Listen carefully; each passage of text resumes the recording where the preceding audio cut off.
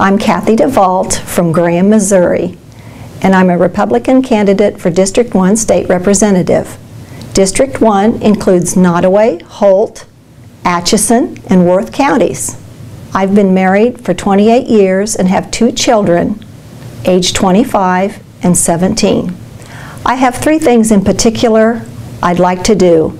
I'd like to help farmers. I'd like to keep our healthcare system under control. And I would like to help our small schools. My husband of 28 years is a farmer, and my dad was a farmer, so I know farming.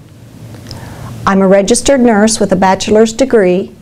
I have a nursing home administrator's license, and I have a legal nurse consulting certificate, so I know healthcare.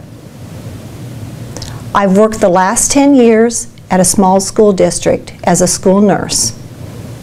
As a member of the Missouri State Teachers Association, I am passionate about helping our small schools stay strong. Where businesses are concerned, I have three things that I think we need to do to help them. One is to keep regulations under control. Two, keeping taxation under control.